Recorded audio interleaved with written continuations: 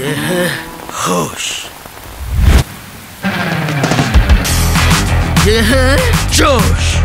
ऐसे ही ढेर सारे रोमांटिक और क्यूट वीडियोस के लिए जोश में आ जा।